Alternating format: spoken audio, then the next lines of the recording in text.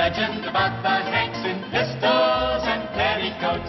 Henrietta could fire a gun with one hand milking the goats and hit a coyote on the run. In pistols and petticoats, the story goes that Grandma was best At shooting buttons off a rustler's vest. shooting buttons off a rustler's vest.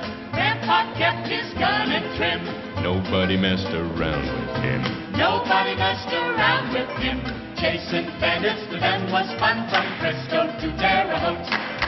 Every gun in the West would run from pistols and petticoats. That's the legend about the Hanks, just the way she was wrote. They kept busy protecting banks and pistols and.